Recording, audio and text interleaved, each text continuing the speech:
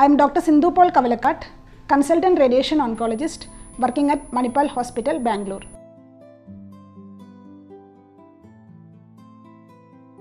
So before going to discuss what is 3D CRT, first we should realize that all tumors are not regular. They come in different size and shapes.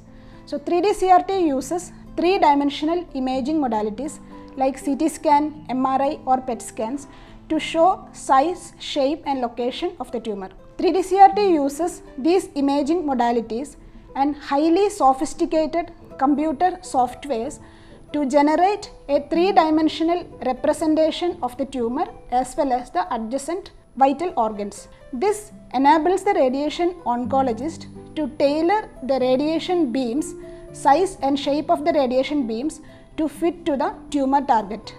Since the radiation beams are precisely directed, the adjacent normal healthy tissues receives less amount of radiation. So this technique 3D CRT or three-dimensional conformal radiation therapy is used in the treatment of various cancers mainly cancer of the uterine, uterine cervix or cancer of the lower uterus, cancer of the rectum or motion passage.